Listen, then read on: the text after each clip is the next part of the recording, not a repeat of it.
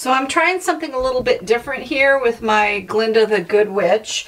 I printed this just, um, it's an image off the internet and I just printed it in color on an inkjet printer on computer paper and then I've got my big Gelli plate so I'm going to try something fun. I'm using fluid acrylic in white to just get a thin layer. Oops, that's kind of a lot, but that's all right. To get a thin layer on my Gelli plate of paint. And from what I understand, the thinner the better on your acrylic paints for this. So hopefully this will work. We're trying something fun.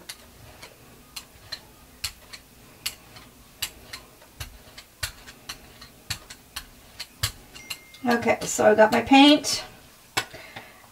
And now I'm going to put my image face down. I'm going to get her and see if I can make a print from my inkjet image. And let's see what happened.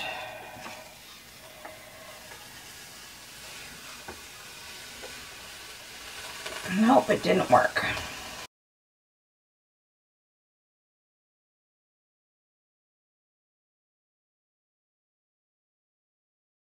Okay, so the first thing I'm going to do is use my Gelli plate and put down some paint colors.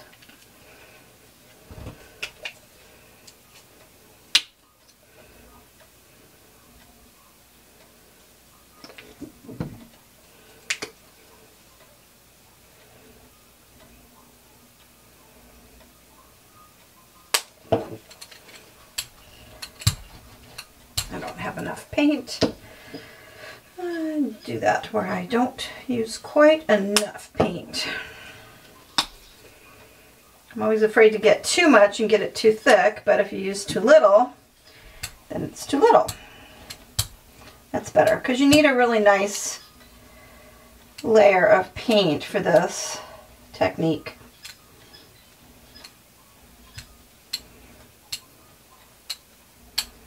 And you want to use colors that don't uh, that complement each other. You don't want to use colors that when you mix them, it makes mud. So be careful about that.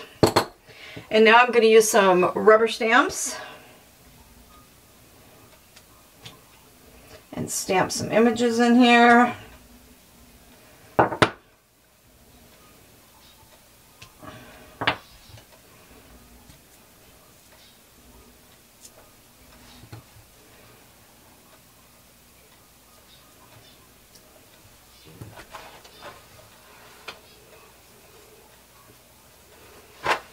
Some lace.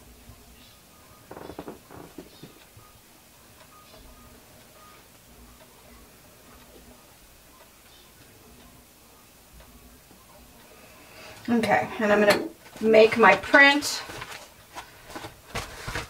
right on my page, right in my journal.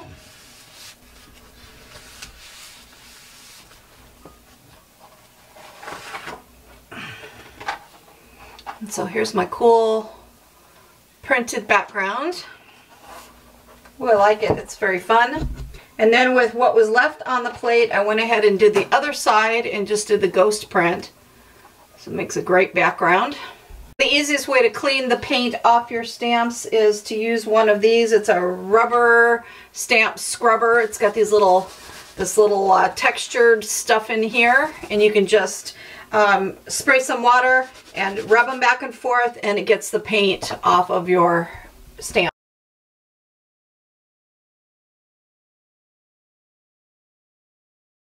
So now I've printed out an image off the internet of Glinda the Good Witch and I've trimmed her out and I'm going to put her down on my Gelli plate.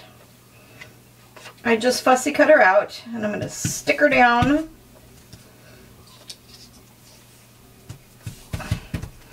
And then I'm going to come in with a darker color of paint. And my brayer. Oops, come on. Work with me here, girl.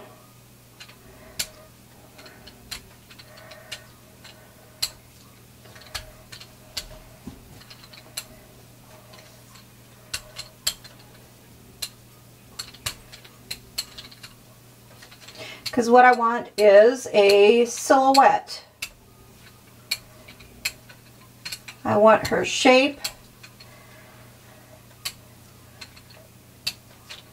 on the print.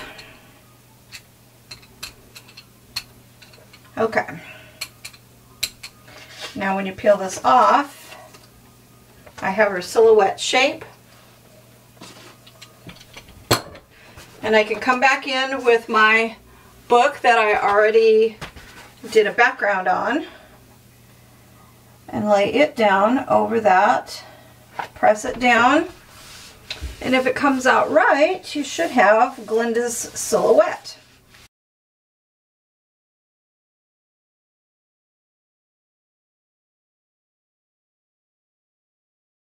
Well, my camera battery pooped out, and so you missed a step here. Um, what I did was I took that image that I used face down to make this silhouette, and I used a Posca pen in white to go around the silhouette just to make it stand out a little bit more, and I love it. It looks so cool. And instead of throwing away that image, I went ahead and took some matte medium and I put matte medium down and I put her down. I love that the white paint over it from that initial attempt to make a uh, image print that it muted her down. I loved it. Instead of throwing it away, I put it down and I love that the paint from doing the silhouette kind of outlined it a little bit. It just it just turned out really cool. So one of the things I used to teach when I uh, taught at the scrapbook store was that there isn't a mistake. When you're making art and you're playing and you're enjoying yourself, sometimes your best laid plans and your idea doesn't turn out how you envisioned it, but sometimes mistakes turn out even better. And I love this. I love that she's muted down. I just think that is so cool looking. So that's what you missed. I matte gel medium down the image. I did my silhouette and I went around it with a Posca pen. So now what I'm going to do, I want to add some words over here inside the silhouette and I'm just using some um, Making Memories word letter rub-ons. They're just letter rub-ons and I don't even know if they make these anymore. I'll check and see, but they're they fan out and they're just letters that you rub on. And so I'm going to do that over here. So if you've never used rub-ons, you just um, peel off the tissue paper off the back. The side that's shiny goes face down on your image. And then you just um, take something and rub across this, because obviously it's a rub-on, and it will lay down the letter onto your image. I used to have these in scrapbooking, so I figured I might as well use them up. So I'm going to put the words be good over here because obviously we have a choice in life of whether or not we want to be naughty or if we want to be good. And this is Glenda, Glinda the Good Witch. So I'm putting the words be good over here. So here is my silhouette and the words be good rubbed on. I love it. It's cute. So now what I'm going to do next is I'm taking um, my rubber stamps. I'm going to stamp on the saying with my snap together letter set. The you always had the power, my dear. You just had to learn it for yourself. That is uh, Glinda's catchphrase. So I'm going to um, use these and what you do is you just snap them together. They're so easy to use like this. And then when you stamp them, your letters are perfectly straight. And I'm going to put that saying right down here. I'm using Ranger, Black Ranger Archival ink. And I'm going to go in here and just stamp this right on the page. I love these things because it makes your stamping your words so easy. Just so simple because they line up and snap together. I just think that's makes it so easy. And then I take them and with my stamp scrubber do the same thing. I've got a little bit of water here and I just rub them off. It cleans them super easy. The other cool thing about them is they only snap together one way, so you never get your letters upside down or wrong. With the little wooden ones, sometimes you accidentally stamp things upside down. So that's the other cool thing about these snap together stamps. So here's my stamp saying, you always had the power, my dear. You just had to learn it for yourself. And then I wrote Glinda the Good Witch. So there's her saying.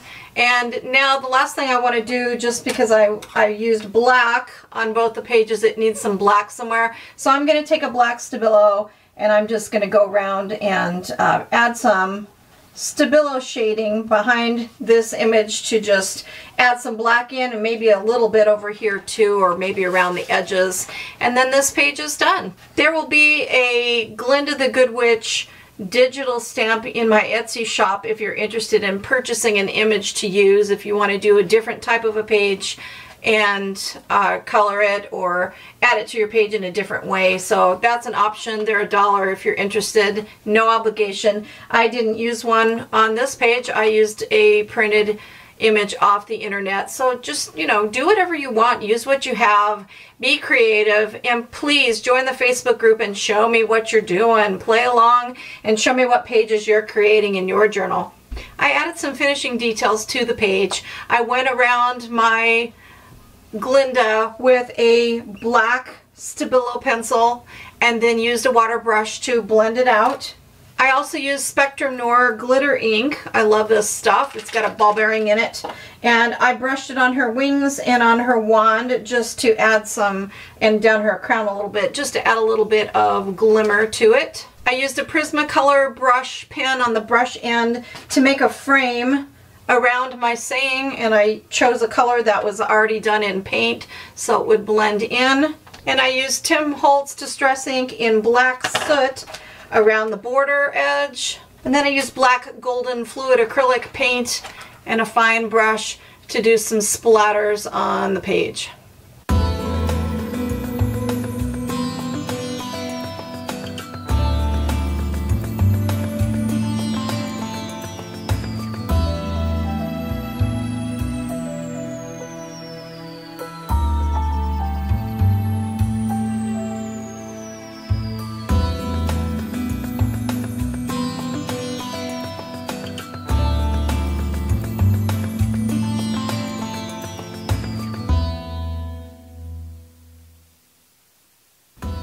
Wizard of Oz April Challenge Daily Prompt is so much fun, so thanks for playing along and thanks for stopping by at Twisted Art Designs. Art soothes the heart.